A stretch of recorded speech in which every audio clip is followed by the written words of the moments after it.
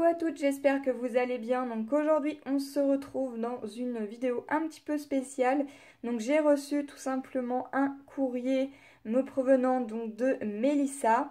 Donc Melissa, euh, c'est une démonstratrice Stampin' Up et c'est la fille donc de Laurence. Donc elle m'a envoyé euh, un petit courrier tout simplement parce que j'ai tout simplement rejoint le groupe euh, de chez Stampin' Up non pas pour devenir démonstratrice, hein, tout simplement pour pouvoir euh, lui acheter euh, certains petits euh, matériels de chez Stampin' Up. Voilà. Et pour cela, du coup, elle m'a lancé donc un petit défi, donc avec toutes les explications qu'il y a ici. Voilà.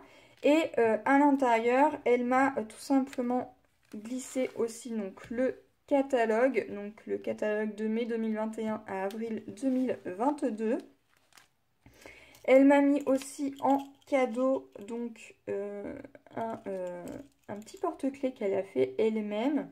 Voilà, donc je vais cacher hop, le numéro et voilà votre démonstratrice Stampin' Up. J'adore, c'est vraiment euh, sympa d'avoir fait ceci. Donc ça, je vais venir l'accrocher moi sur mes clés sur mon atelier. Elle m'a glissé également donc euh, un petit tag qu'elle a fait elle-même avec les Ink Color 2021-2023. Donc ce sont tout simplement euh, les rubans qu'on peut euh, retrouver sur le catalogue. Donc il y a le pré, hop là, le Fresia en fleurs, le pierre rose poli, l'épinette enivrante, la soyeuse succulente et le papaye pâle.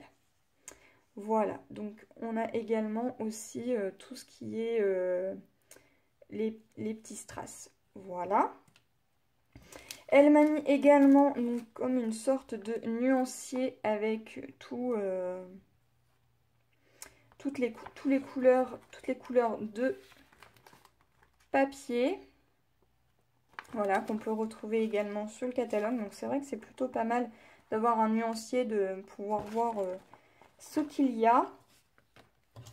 Et euh, du coup, euh, pour, pour le, défi, elle m'a tout simplement glissé donc comme des sortes de petits échantillons pour que je puisse y faire donc une création. Donc moi, cette création, je vais la faire hors caméra, bien entendu.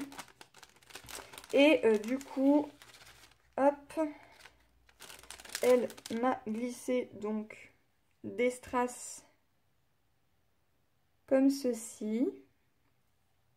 Donc ce sont exactement les mêmes qu'on retrouve ici. J'ai également donc 5 euh, rubans donc qui sont exactement les mêmes que ici. Qui sont plutôt sympas. Voilà, donc j'ai quand même euh, de bonne longueur. Voilà. J'ai donc également des chutes de papier donc euh, qui font une mesuration de 10 par 15 cm. Donc j'ai cette couleur là, celle-ci, on a celle-ci, celle-ci et celle-ci. Et également, donc, elle m'a tamponné euh, donc plein de petits euh, papillons. Voilà, donc ça c'est euh, le, tampon Butterfly, je crois. Si je ne me trompe pas, donc voilà. Donc les petits euh, papillons et également donc des découpes qui sont euh, dans les mêmes papiers que ceux-là. Voilà, donc il y en a des grands, des plus petits, comme ceci et comme ceci. Voilà, donc je vais euh, réaliser donc un petit projet avec ceci parce que moi je n'ai pas grand chose de chez euh, Stampin' Up. Donc je me suis euh, dit que ça pouvait être sympa de, faire un petit, un petit projet comme ceci que je vais lui envoyer bien entendu. Et bien sûr je vais pouvoir regarder ce qu'il y a dans le catalogue pour pouvoir euh, lui acheter quelques petites bricoles. Voilà, donc c'est vraiment une petite vidéo euh, pour vous expliquer un petit peu le pourquoi du comment. Donc là, je vais pouvoir donc du coup travailler un petit peu sur le défi. Donc je vais tout simplement utiliser les papiers, les papillons, les strass et les rubans. Je ne sais pas encore trop ce que je vais pouvoir y faire.